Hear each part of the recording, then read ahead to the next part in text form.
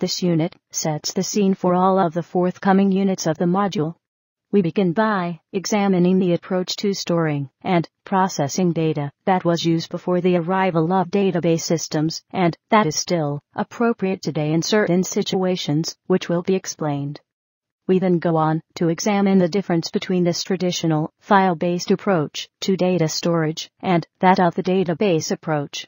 We do this first by examining inherent limitations of the file-based approach and then discuss ways in which the database approach can be used to overcome these limitations. A particular model of database systems known as the relational model has been the dominant approach in the database industry. Since the early 80s there are now important rivals and extensions to the relational model, which will be examined in later units, but the relational model remains the core technology on which the database industry worldwide is based, and for this reason, this model will be central to the entire module. Many people need to store data of various kinds for a variety of reasons. An individual might like to keep a record of a collection of music CDs or videos. A charity might want to keep a record of its members and keep track of donations and expenditure.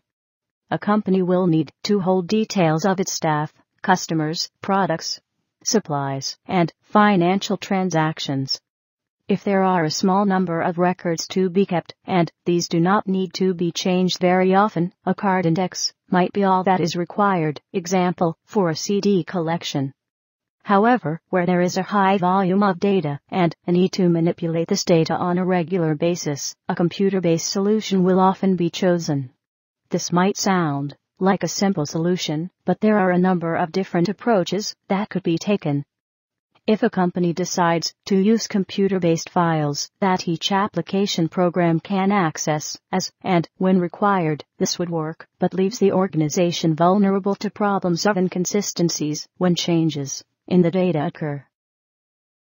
The term file-based approach refers to the situation where data is stored in one or more separate computer files. Typically for example, the details of customers may be stored in one file, orders in another, etc. Computer programs to perform the various tasks required by the business process data that is stored in computer files.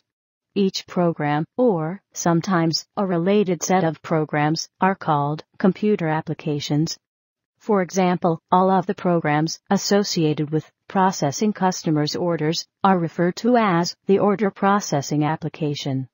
The file-based approach might have application programs that deal with purchase orders, invoices, sales, and marketing, suppliers, customers, employees, and so on. We can imagine that some of these different programs might use